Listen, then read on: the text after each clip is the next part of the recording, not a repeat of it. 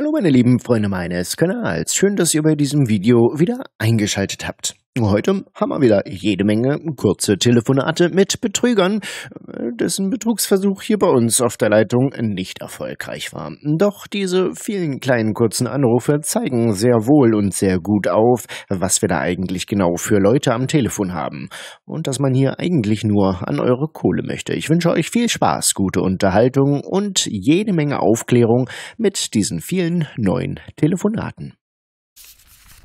Hallo, Ja. ist das Karl? Kartoffel, ja? Mhm.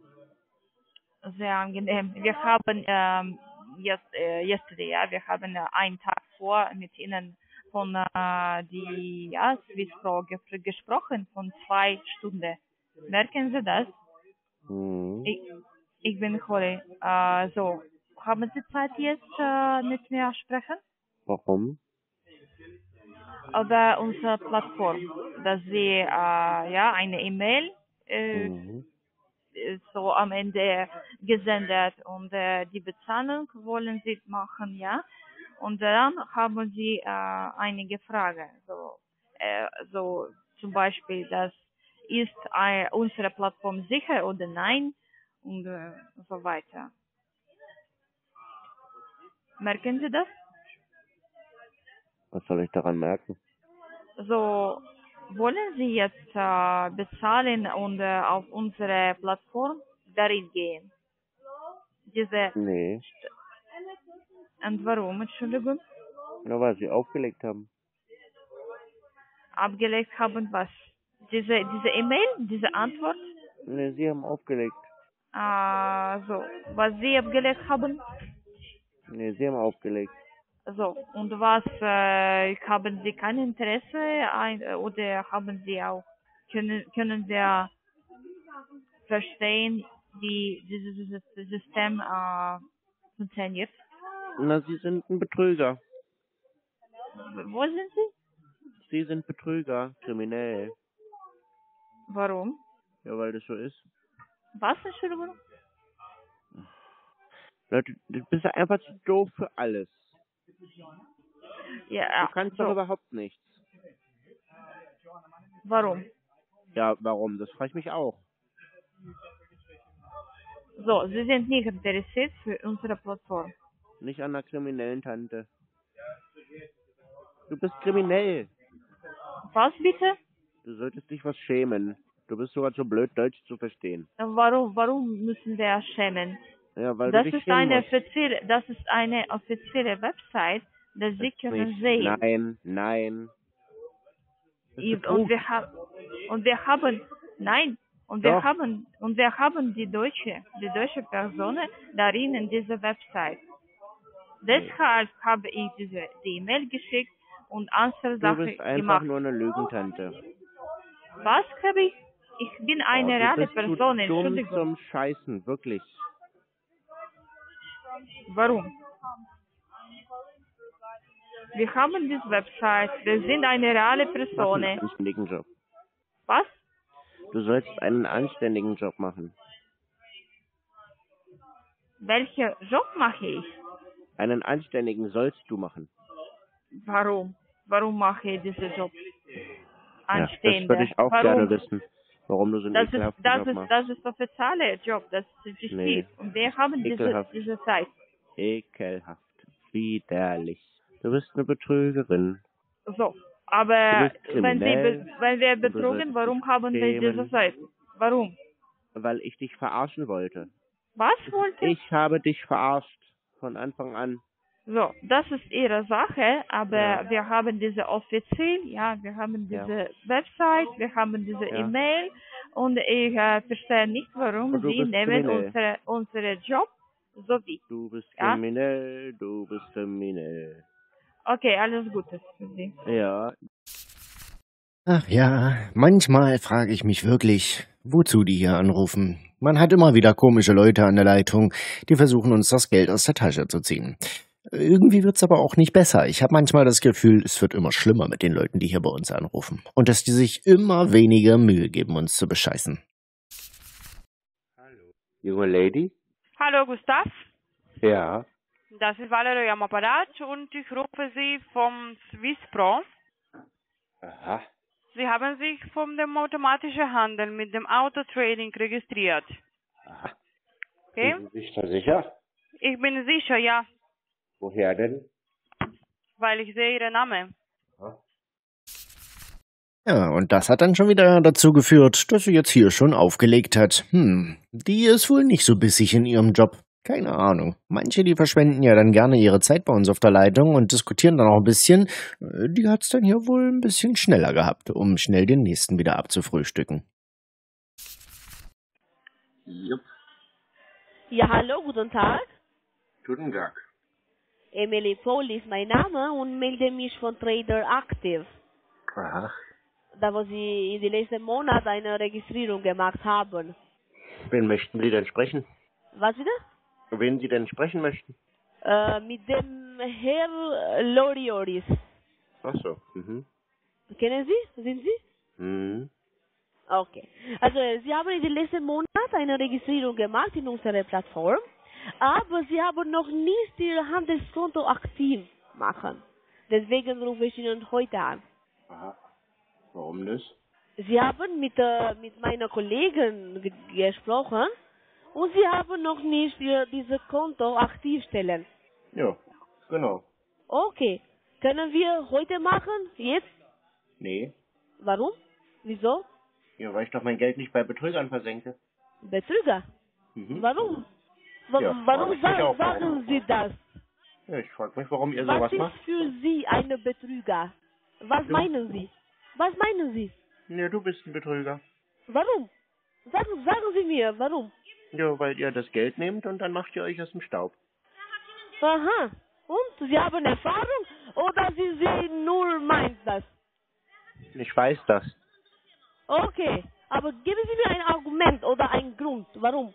Ja, das würde ich ja gerne mal von dir hören, warum du die Menschen... Okay, haben Sie einmal probieren unsere Plattform? Haben Sie einmal testen unsere Plattform? Nee, muss man nicht. Stellt man ja vorher fest, Okay, das bedeutet, dass Sie haben keine Erfahrung mit unserer Plattform, mit unserem Broker. Ja, die will ich ja auch nicht sammeln mit Betrügern. Okay, okay Sie wollen nicht die eine, einerseits, aber da wir sind Betrüger, Mhm. okay, Ja. das ist nur Ihre Meinung, Nee, okay? das ist Nee. Okay, gehen Sie bei Google und sagen Sie mir, warum sind wir Betrüger? Ihr habt keine Lizenz, ihr habt kein Impressum, ihr ruft mit gespuchten Rufnummern an und ihr habt äh, kakerlakischen Okay, am gehen. Sie bei Google und schauen Sie mir Nicht das. zu vergessen die Musik im Hintergrund. Okay, die Musik ist für, Spaß. Ja, ihr ruft aus Spaß an, richtig. An ihr seid Spaß. Betrüger, kriminelle Betrüger, die nichts Vernünftiges Aha. in ihrem Leben geschissen bekommen. Okay, aber warum haben. Sie äh, diese Registrierung gemacht? Wer Be Betrüger sind, Kriminelle oder? Damit ich warum eure haben Zeit Sie die Registrierung? kann. Warum haben Sie diese Registrierung gemacht? Habe Sie ich gerade glauben nicht. beantwortet. Ja? Damit ich eure Zeit klauen kann. Ja. Ja. So funktioniert ja. Hm. Sie glauben das. Aber Ja. bitte machen Sie nicht etwas, das Sie nicht vertrauen, okay? Doch weiß ich ja. Okay. Okay. Ihr seid Betrüger. Einen schönen Tag noch. Kriminelle Betrüger. Okay. Antworten, dich. Sie verlieren Ihre Zeit mit einem Betrüger, oder? Ist deine Mutter dolle stolz auf dich, dass du so einen Job machst? Okay. Ja, diese nette Lady hat ja wieder versucht, sich rauszureden. Tja, nur das, was die immer so als Begründung nehmen, ist ja alles Blödsinn. Wie schon in den anderen Videos immer mal wieder erklärt, man sieht ja vorher nicht, dass man bei Betrügern landet. Man meldet sich über eine Werbeplattform an und erst dann ploppt die Webseite von denen auf. Und wenn da keine Lizenz steht und alles unseriös aufgebaut ist und genauso aussieht wie bei allen anderen Betrügern, ja, dann braucht man sich halt nun mal nicht wundern, ne? Man sieht's als Kunde einfach nur vorher nicht, wenn man sich gerade registriert, dass das Ganze unseriös ist, wo man eben sich angemeldet hat. Ja, aber irgendwie scheinen die das selber gar nicht so genau zu wissen, oder? Die stellen halt einfach auf Durchzug und ja, bleiben da stur. Und naja, schon alleine dieses Argument, sie haben ja bei uns noch gar nicht investiert. Ja, brauche ich nicht. Man kann es vorher sehen, ob es Betrug ist oder nicht. Dazu muss ich nicht das Geld in der Hand nehmen und dahin werfen, um dann zu sehen, dass sie sich aus dem Staub machen. Tja, manchmal fragt man sich ja wirklich, ob die überhaupt selber Bescheid wissen, was die da für Arbeiten ausüben und äh, ob die überhaupt selbst wissen, dass das Betrug ist. Aber ich kann mir einfach immer nicht vorstellen, dass die das nicht wissen, weil letztendlich äh, wird euer Geld ja nicht investiert, sondern es ist lediglich einfach weg. Und schon alleine, wie die dort arbeiten. Also seriös ist das nicht. Und wenn ich da als Mitarbeiter in der Firma arbeiten würde, würde ich dieses Umfeld, so laut wie es da ist, mit der Musik, mit dem Blabla, was da bloß erzählt wird, hm, da müsste man doch irgendwann selbst schlau genug sein, um dahinter zu steigen, dass das Ganze nur Betrug ist. Ja, bitte. Hallo? Ja. Guten Abend, ich heiße Jack und ich rufe Sie von Automatisiert Handelssystem. Wie geht's Ihnen heute? Um fast 21 Uhr. Ja, was ist das Problem? Ja, ist ganz schön spät, ne? Ich rufe Sie morgen früh in diesem Fall, okay? Nee, da schlafe ich. Ich stehe Okay, ich rufe Sie morgen früh. Bis morgen. auf. Nee, morgen früh schlafe ich. Okay, ich rufe Sie noch einmal, damit ich bin sicher. Ja? Was? Ich bin doch jetzt am Telefon. Okay, sind Sie bereit jetzt, um Ihre Konto aktivieren mit 50 Euro? Was denn für ein Konto? Sie haben ein Investitionskonto, das kaufe ich Sie. Aha. Sagen Sie mir. Was denn für ein Konto? Möchten Sie Ihre Konto aktivieren oder nicht? Ich weiß ja nicht mal, was für ein Konto. Das ist Handelskonto mit unserem vollautomatisierten Bitcoin-System und jetzt Sie kann Ihre Konto aktivieren mit das Minimum mit nur 50 Euro. Ist das in Ordnung für Sie? Wie heißt denn die Seite? Die, die Seite heißt SwissPro. Swiss Pro. Genau. Sie kann Geld verdienen mit unserem System. .com oder Punkt was? .com, swisspro.com. Mit Double Z. Swiss schreibt man aber mit S. Siegfried, Wilhelm, Ida, ZZ, Paula, Richard, Swiss schreibt man mit Doppel S und nicht mit Doppel Z. Double Z. Ja, müssen Sie ja dazu sagen. Ja. Okay. Aha. .com. Ist eine interessante Seite. Genau, das ist unser vollautomatisierte Handelssystem. Und jetzt, wenn Sie Ihr Konto aktivieren, ich gebe Sie 50 Euro in Ihr Handelskonto, damit Sie kann nur zu probieren das System. Wenn Sie möchten, Sie kann immer Ihre Geld auszahlen, das ist kein Problem. Probieren Sie das System für eine oder zwei Wochen, sehen Sie das Result und wenn Sie möchten, Sie kann alles auszahlen, Ihre Gewinn und Ihre Geld. Okay? Ja, wo haben Sie denn Ihr Impressum auf Ihrer Webseite? Wie bitte? Das Impressum suche ich. Okay, so sehen Sie Login ganz oben rechts, sehen Sie Login. Ja. Ja, drücken Sie auf Login. Login. Ja, Login. Ich suche das Impressum und nicht den Login. Was suchen Sie? Das Impressum. Impressum. Ja. Wo haben wir das? Welche Impressum brauchen Sie? Na, von Ihrer Webseite. Ganz unten, Sie sehen, dass Sie, unsere Firma ist lizenziert bei FSA. Ja? Ja, aber ich suche das Impressum, nicht die Lizenz. Ich suche das Impressum. Warum brauchen Sie diese Impressum? Na, da guckt man doch immer erstmal hin, wenn man eine seriöse Webseite vor sich hat oder nicht. Natürlich, das ist Ihre Webseite. Ja, dann zeigen Sie mir mal, wo Ihr Impressum auf Ihrer seriösen Webseite ist. Ganz unten, ganz unten, Sie sehen diese. Ja, wo denn?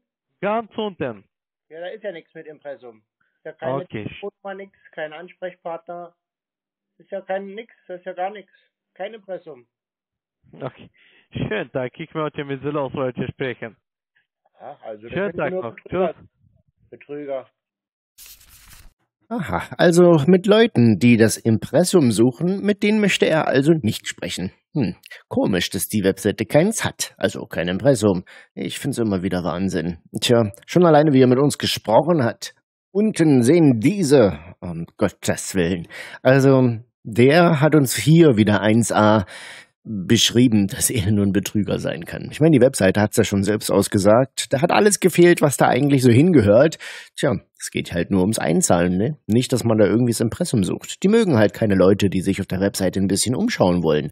Die suchen nur Leute, die, ja, ohne Wenn und Aber einfach das Portemonnaie zücken und, äh, ja, ihre Bankdaten dadurch buchstabieren. Ja.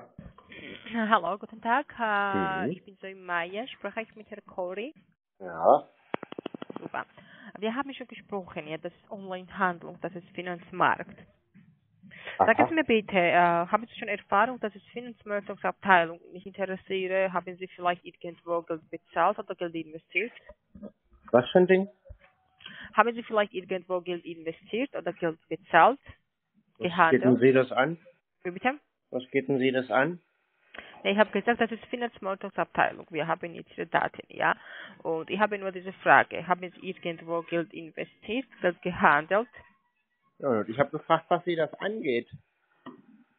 Das ist, äh, wissen Sie was, das ist zum Beispiel Bitcoins oder Kryptowährungen. Haben Sie schon Erfahrung, vielleicht? Ja, was geht denn Sie das an? Ich habe das schon gesagt. Ich interessiere nur, haben Sie irgendwo Geld investiert, ja oder nein? Ja, das geht Sie nichts an. Wie bitte? Das geht Sie nichts an. Wie Sie wollen.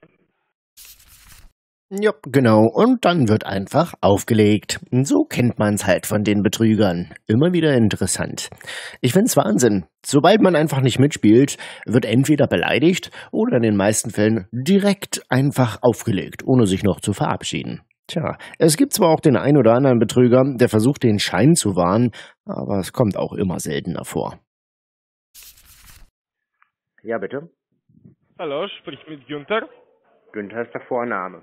So sprechen Sie mich ja nicht an. Wie bitte? Ja, ist mein Vorname. Was möchten Sie denn? Also Sie waren bei uns angemeldet für unser Online-Handelssystem. Noch Interesse dafür? Was ist denn das für ein plumper Anruf? Wie bitte? Ja, was ist denn das für ein plumper Anruf? Ja, du warst bei uns angemeldet. Das war's. Was Sie. willst du? Nicht du. Sie. Ich bin älter. Ja, es spielt keine Rolle. Ja und? Sie haben mit den Leuten, die Sie anrufen, mit Respekt umzugehen. Doch, habe ich. Du hattest keinen Respekt. Was für ein Ding? Klingen Sie doch mal die Zähne auseinander. Das ist doch kein Deutsch, was Sie da von sich geben. Also ich bin ein Russe. Was ist dein Problem? Bist du rassistisch? Ja, du müsstest mal vernünftig Deutsch sprechen können, wenn du hier in Deutschland anrufst. Aha, und du bist rassistisch, okay? Kein Ja, wenn Problem. du der Meinung bist, bitteschön. Ist in Ordnung. Kann ich mit leben. Ja, okay. Lieb damit. Ciao, ciao.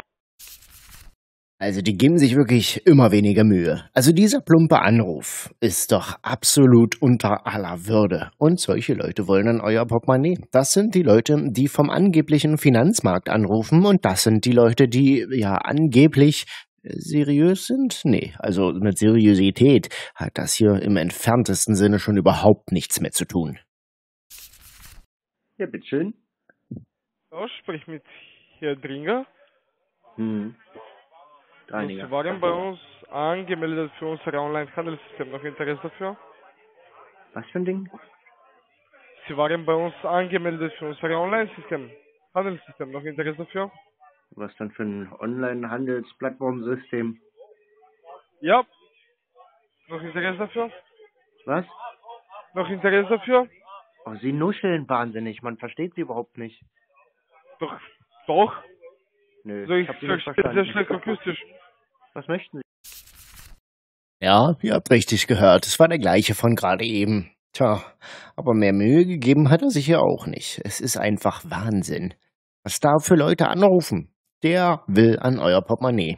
Tja, es ist einfach nur noch ganz, ganz, ganz plump und böse. Aber was mich hier viel mehr schockiert, ist die Lautstärke da im Hintergrund und wie viele Leute da schon wieder fleißig sind. Fleißig, um die Leute anzurufen, um da an die Kohle ranzukommen. Ja? Hello. Ja, was denn? Hi, am I speaking with Gerald? Der hat von selbst wieder aufgelegt, aber ich weiß auch nicht so richtig, was er von mir wollte. Also ich meine, klar ist, dass der war hier wahrscheinlich wieder von den Trading- und Finanzbetrügern äh, vom, vom Bitcoin-Markthandelsplattform, keine Ahnung, angerufen hat. Aber tja, ich find's Wahnsinn. Warum die hier in Deutschland anrufen, wenn sie nicht mal Deutsch können? Denn man gibt bei der Registration ja an, dass man aus Deutschland ist und man klickt auch extra aufs deutsche Fähnchen für die Telefonnummer, damit da plus äh, 49 davor steht. Also die wissen das, dass die in Deutschland anrufen. Deswegen, äh, also ich finde es absolut abgefahren, dass die dann äh, so anrufen. Tja, scheint ja wohl irgendwie trotzdem zu funktionieren. Das ist der absolute Wahnsinn. Guten Tag. Hallo, Ja. Und guten Tag, spreche ich mit Peter Zauberfeld? Ja. Zauberfee. Hallo.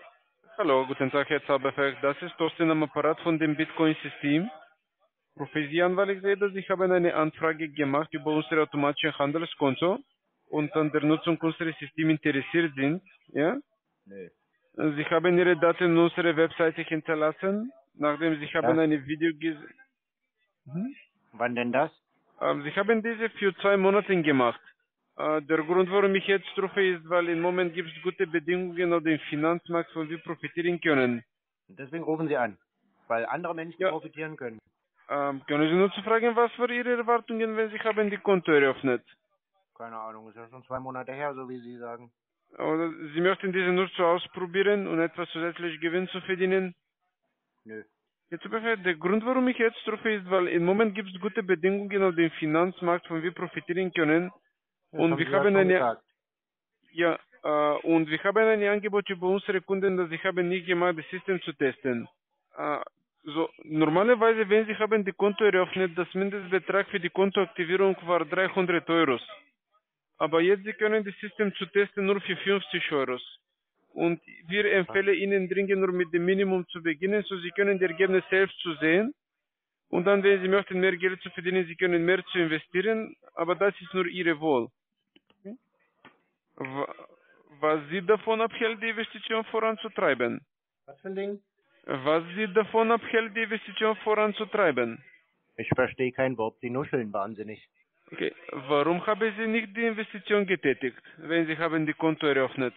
Ja, hat mir dann wohl bestimmt nicht gefallen. Aber ist ja wie gesagt auch schon zwei Monate her. Kann ich ja jetzt nicht mehr wissen. Okay, und was ist Ihre Bedenken? Was Sie davon abhält, die Investition voranzutreiben?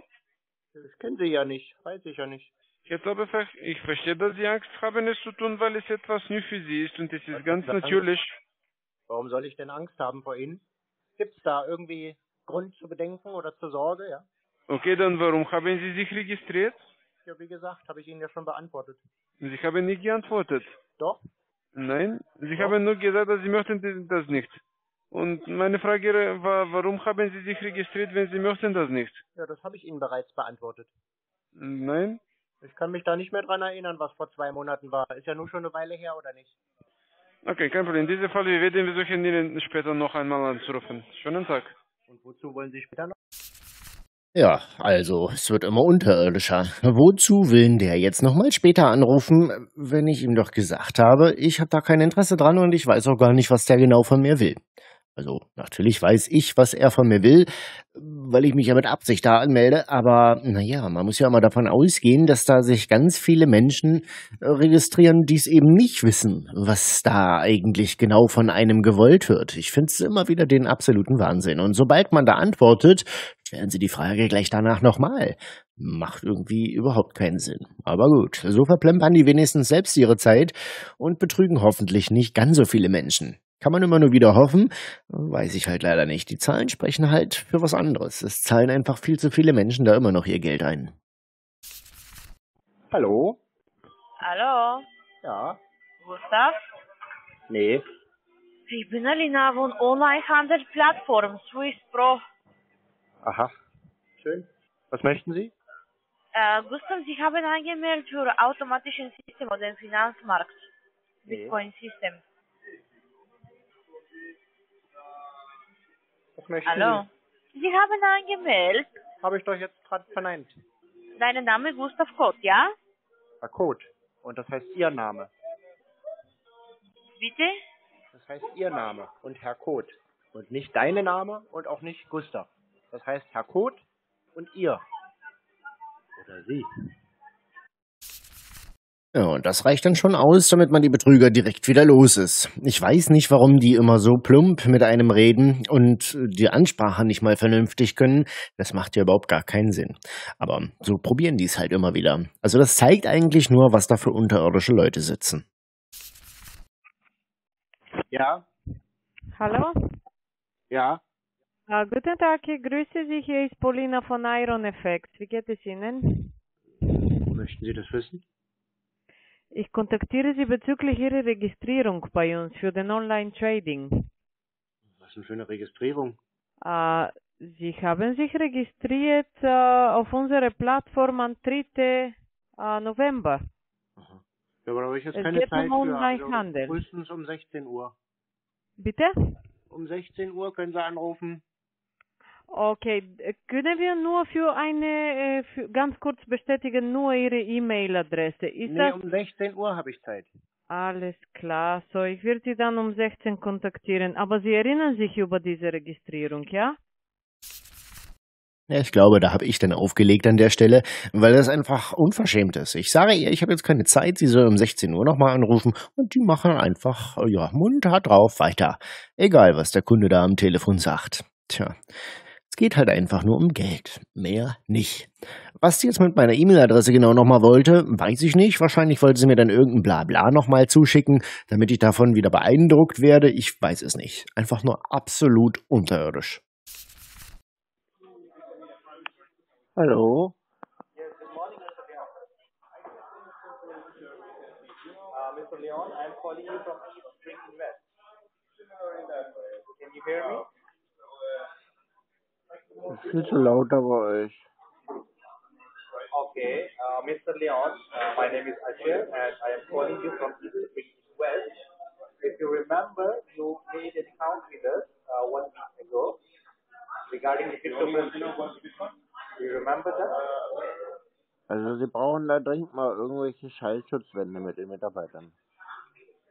Mr. Leon, can you, can you get me? Ja, aber das ist viel zu laut. Das müsst ihr irgendwie mal anders regeln. Für jeden Mitarbeiter ein Zimmer oder so. Uh, Mr. Leon, can you uh, speak English only German? Ja, sowas wollen wir heute nicht. Okay, Mr. Leon, can you look at your email? Your Gmail. Das kann sie kaum verstehen, weil das ist einfach ganz schlechte Qualität. Mitarbeiter sind viel zu laut. Rennen ja alle rum da im Hintergrund. Uh, Mr. Leon, can can you understand English? Und warum sollte ich denn Englisch sprechen? Wir sind doch in Deutschland. Ruf ich auch in Deutschland an, also. So you don't speak English. Du rufst hier in Deutschland an, da wird hier Deutsch gesprochen und nicht irgendeine, irgendeine, irgendeine Kakerlakensprache. Deswegen ist nicht. Wir sind in Deutschland, hier wird Deutsch gesprochen. Okay, one minute, one minute.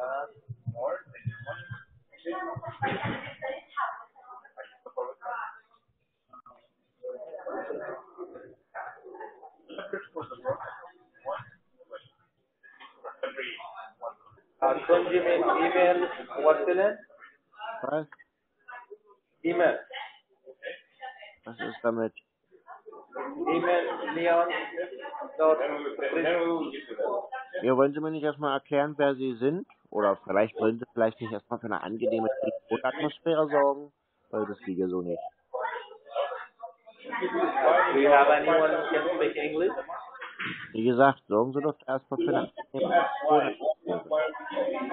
Okay, thank you so much, Mr. Leon. Thank you so much for your time. Ja. Ja schön. Ja, also was das jetzt hier werden sollte, ist absolut fragwürdig. Ich habe keine Ahnung.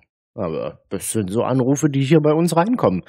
Man hat den Typen fast überhaupt nicht gehört. Hat er da auf Lautsprecher telefoniert oder was war das da jetzt? Da war der Hintergrund definitiv lauter als der vermeintliche Mitarbeiter selbst. Tja, ist schon Wahnsinn. Und so wollen die Geld verdienen. Also ich glaube nicht, dass der so überhaupt Erfolg hat. Kann man immer nur hoffen, dass die da so keinen Erfolg kriegen. Es ist Wahnsinn. Und dann konnte der dem Anschein nach nicht mal irgendwie Deutsch. Interessant. Einen wunderschönen guten Tag. Mit wem spreche ich denn da bitte? Hallo, ich möchte mit Cher sprechen. Mit Herrscher. Ja, Ja, und wer sind Sie? mein Name ist Benjamin. Ich rufe Sie aus dem automatischen Handelssystem an. Wie geht es Ihnen heute? Möchten Sie mir nicht Ihren äh, Nachnamen verraten, Herr Benjamin? Nam Nam? Na, Ihren Nachnamen. Ah, mein Nachname. Hier. Bell. Benjamin Bell. Aha. So. Und Ich von wo aus Sie an. Herr Bell? Können Sie das nochmal sagen? Von, von welcher Firma rufen Sie denn an, Herr Bell? Ich rufe Sie von Millennium One. Und ich rufe Sie an, weil Sie in der Vergangenheit Interesse gezeigt haben, zu handeln und Geld zu verdienen. Korrekt? Ich kann mich aber doch nicht an Sie erinnern. Okay, in diesem Fall lassen Sie mich Ihnen kurz erklären, wie das funktioniert und dann können Sie selbst entscheiden, ob es etwas für Sie ist oder nicht. Okay? Würde jetzt erstmal interessieren, wo Sie meine Daten her haben. Ich kann mir vorstellen, wann Sie in der Vergangenheit äh, das Ja, um eure Daten wann Sie in der Vergangenheit. Wo haben Sie denn die, wo haben Sie denn die Daten her? Nicht vorstellen, das müssen Sie ja wissen. Ja, ich äh, weiß das nicht genau. Ja, und ich Sie aber. probiere zu erklären. Es könnte sein, wenn Sie in der Vergangenheit dazu. Interesse gezeigt haben Herr Bell, und nicht, jetzt hören Sie mal auf, Herr Bell. Es geht nicht darum, was sein könnte. Sie sind dazu gesetzlich verpflichtet, wenn Sie in Deutschland jemanden anrufen, ganz genau, exakt zu wissen, wo diese Anruferlaubnis herkommt. Sie können ja nicht einfach die Leute anrufen. Ist ja verboten hier in Deutschland. mhm, verboten, sagen Sie. Das ist verboten, einfach so anzurufen, richtig. Sie müssen Das denke ich Daten nicht. Ja, ich bin. Äh, nein, das denke ich nicht.